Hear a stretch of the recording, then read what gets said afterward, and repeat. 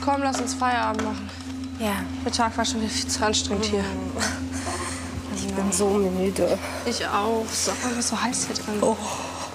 Sag mal, will ich mir das ein oder hörst du da auch was? Ja, lass mal gucken. Da sitzt ja noch jemand. Kann ja nicht wahr sein. Hallo? Wer bist du denn? Jan, Hey Jan, wo ist meine Mama? Ich will zu meiner Mama.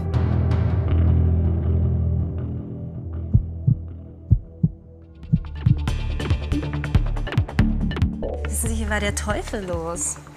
Keine Ahnung. Also, sie war kurz angebunden und Ich werde mal eine Nachfrage beim Einwohnermeldeamt machen, ob es weitere Anhöhe gibt. Ne? Ja? Ähm, könnten Sie mir vielleicht in der Zwischenzeit eine Personenbeschreibung von der Mutter geben? also ähm, dunkelbraune Haare hat sie, Genau. Sehr tätowiert an den Armen, das war auffällig. beide Arme Mhm. voll tätowiert. Circa. 20? Mhm. Ja, würde ich auch denken, Mitte 20. Und haben Sie irgendwas rausgefunden von dem Jungen? Nein, leider nicht wirklich. Er fragt sich natürlich die ganze Zeit, wo seine Mutter ist. Er fragt ständig nach ihr. Ähm, sagen Sie, Sie haben noch mit der Mutter ganz kurz gesprochen. Welchen Eindruck hatten Sie auf sie gemacht? Hektisch. Ja, sehr nervös wirkte sie. Kurz angebunden, wollte nur was besorgen gehen und ja, also als würde sie gar nicht wirklich hier sein wollen. Okay. Kam an und pff, war es weg. Und? Die Kollegen haben Jans Großmutter ausfindig gemacht, eine gewisse Hanna Bender. Und die wird in Kürze hier sein. Super. Ja? Das ist ja wenigstens mal was Gutes. Vielleicht kann die dann auch ein bisschen Licht ins Dunkel bringen. Lassen wir uns mal nach vorne gehen. Warten wir auf die Oma. Ja, also auch wenn die Polizei jetzt Jans Großmutter ausfindig machen konnte, ist für mich der Vorfall damit noch lange nicht erledigt.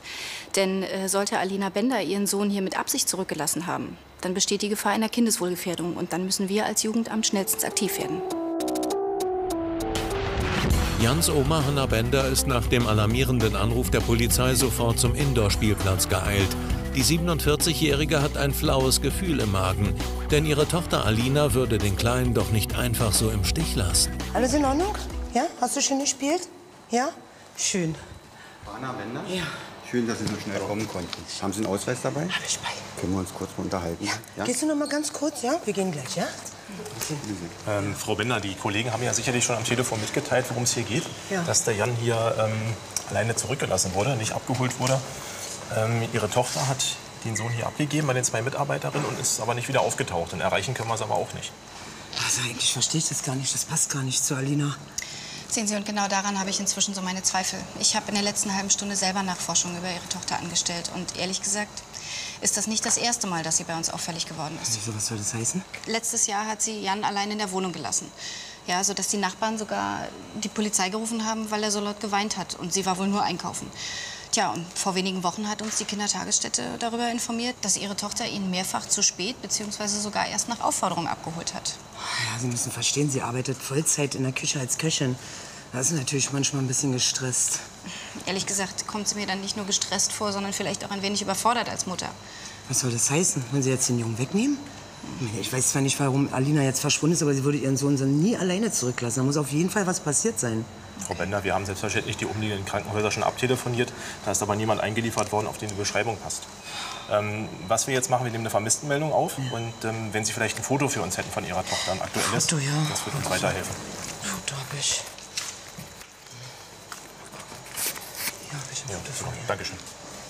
Ja.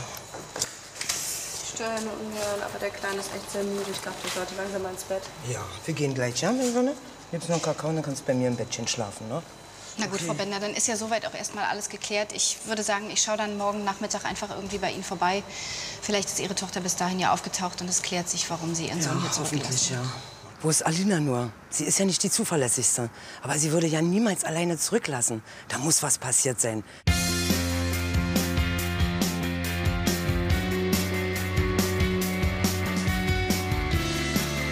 Am nächsten Morgen gibt es immer noch kein Lebenszeichen von Alina. Und dann droht auch noch das Jugendamt Jan wegzunehmen. Hanna Bender ist verzweifelt und holt sich Hilfe von Rechtsanwalt Niklas Dittberner. Sagen Sie mal, haben Sie denn Ihre Tochter jetzt mittlerweile mal erreichen können? Oder? Also Alinas Handy ist noch ausgeschaltet. Von ihren Freundinnen weiß ich leider gar nichts. Ich bin auch gestern extra noch mal zur Wohnung gefahren, hab geklingelt, aber weder sie noch Nico haben die Tür aufgemacht. Also wie ich das verstehe, ist Nico jetzt auch verschwunden. Ähm, Nico ist jetzt der Vater von Jan. Ja, Nico Reichert heißt er. Ich hab so einen Schiss, dass den beiden was passiert ist. Und jetzt das Jugendamt, ja? Können die Alina wirklich den Jungen gleich wegnehmen?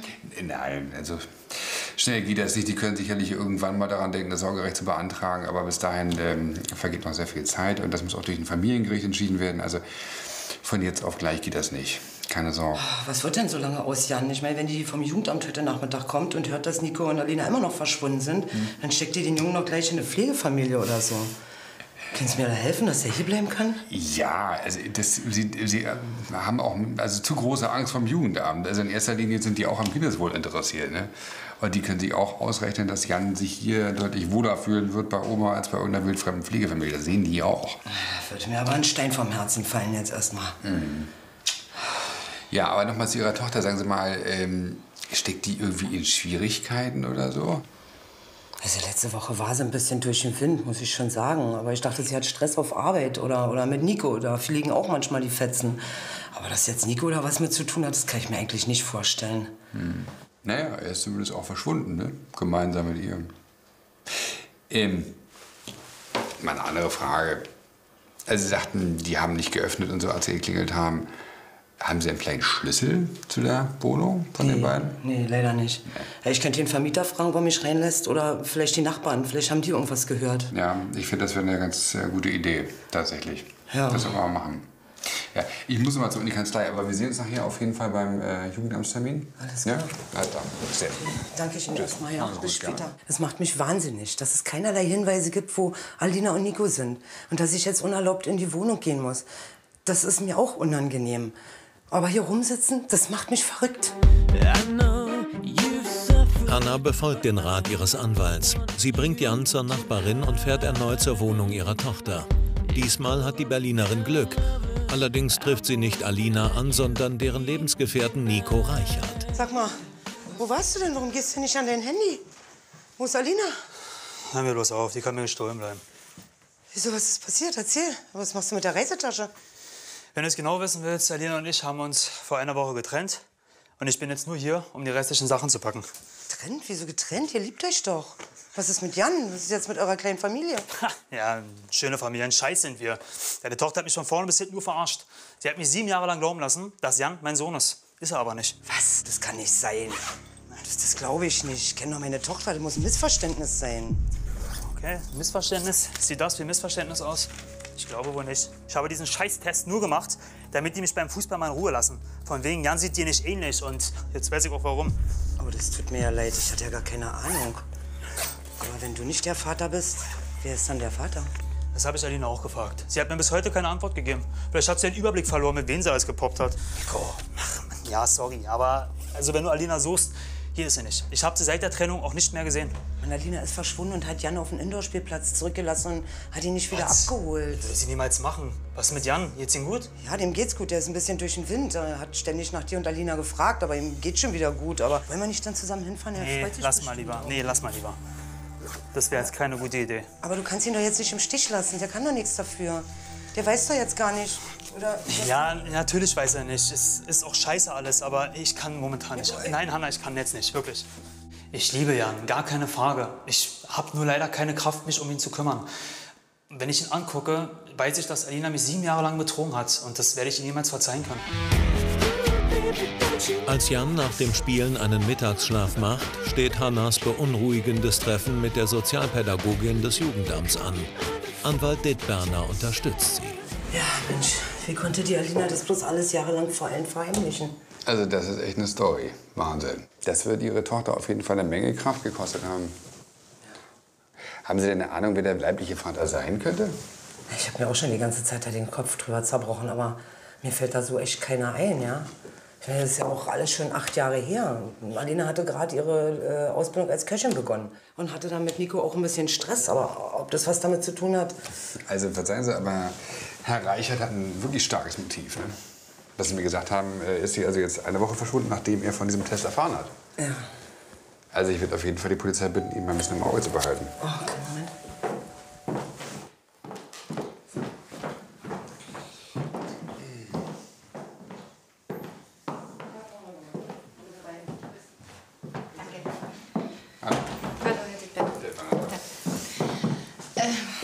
Und wie sieht's aus? Ist denn Ihre Tochter nun aufgetaucht? Leider nein.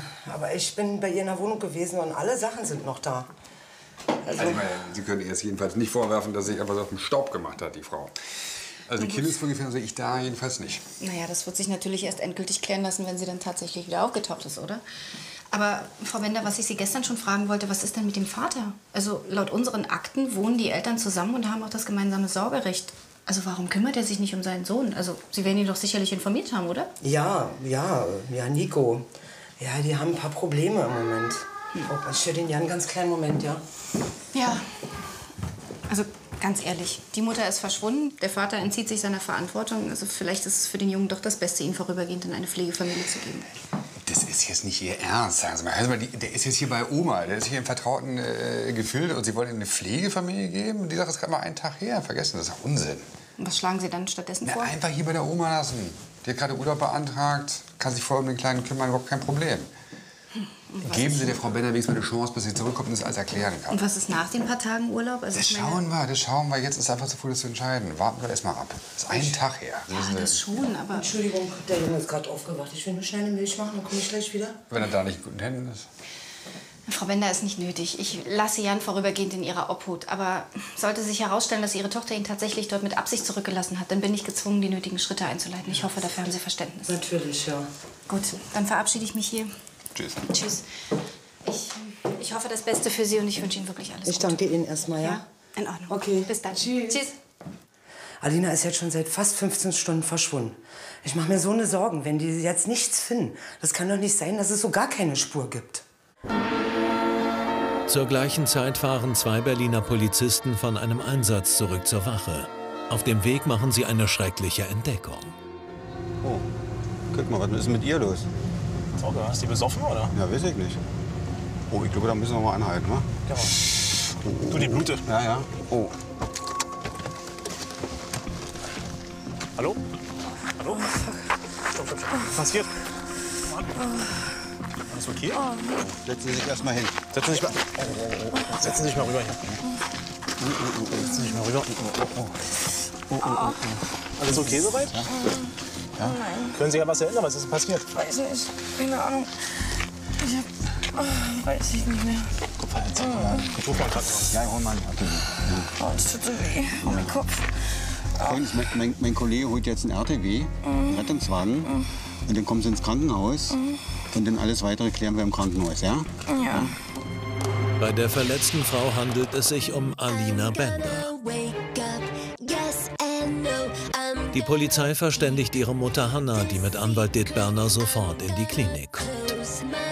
Also ihrer Tochter geht es erstmal dementsprechend gut und ähm, der Arzt ist gerade bei ihr drin. Sie kann sich auch eigentlich wieder an einiges erinnern. Ey, was ist denn jetzt eigentlich passiert? Also man hat meiner Mann am Telefon gesagt, dass Frau Bender auf einer Landstraße angetroffen worden sein soll. Ist richtig. Wir haben Frau Bender, also ihre Tochter, auf einer Landstraße verletzt angetroffen. So wie es aussieht, ist sie wohl im Verkehrsunfall verwickelt worden. Und ähm, auf jeden Fall haben wir das Auto im Straßengraben auf der Landstraße gefunden. Und ähm, allen Anschein nach ist auch noch ein weiteres Fahrzeug involviert. Auf jeden Fall sind am linken Kotflügel vom Auto ihrer Tochter Lackspuren vom fremden Fahrzeug. Ähm, aber wie gesagt, mehr wissen wir erstmal nicht. Wir konnten Frau Bender noch nicht vernehmen. Und ähm, die Spuren müssen auch noch ausgewertet werden. Na gut, ist mir jetzt auch egal. Wo, wo liegt meine Tochter? Ich Auf der linken Seite, dritte Tür. Dankeschön.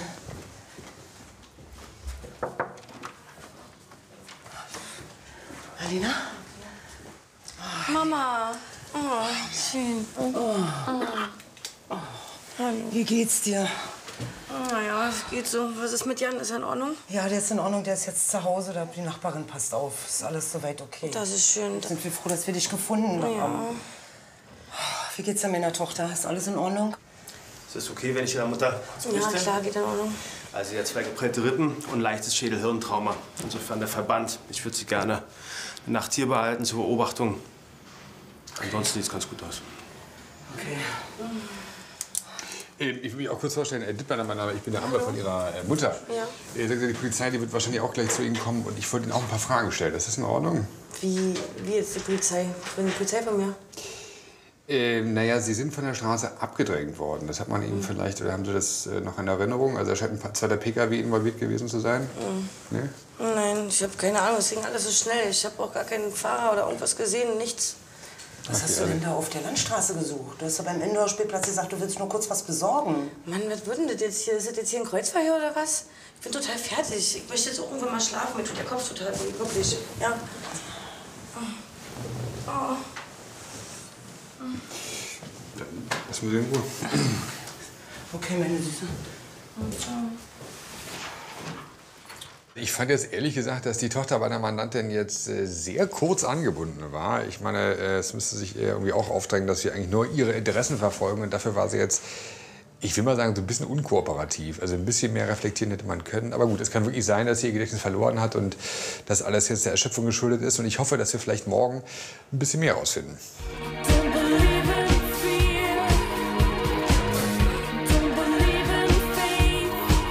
Schon am nächsten Tag darf Alina nach Hause. Ihr Sohn Jan bleibt zunächst bei seiner Oma. Anwalt Det Berner hat derweil Neuigkeiten für Hanna Bender. Sie war den ganzen Vormittag hier. Aber sie wollte mir weder was zum Unfall sagen, noch was sie auf der Landstraße gemacht hat. Und als ich sie dann auf den Vaterschaftstest angesprochen habe, ist sie völlig ausgeflippt. Und hat hier rumgebrüllt, dass ich mich in ihr Leben nicht einmischen soll, dass mich das nichts angeht und so ganz komisch alles wieder. Also ich kenne sie ja nicht, aber auf mich wirkte echt auch so, als würde sie irgendwie ablocken. Ich glaube auch. Frau Bender, ich kann Ihnen sagen, wir müssen rausfinden, was das ist, weil Sie werden es ja vielleicht mitbekommen haben, äh, das Jugendamt äh, überlegt, Jan aus der Familie rauszunehmen, wenn sie ihn der bewusst zurückgelassen hat. Na, wie können wir das verhindern?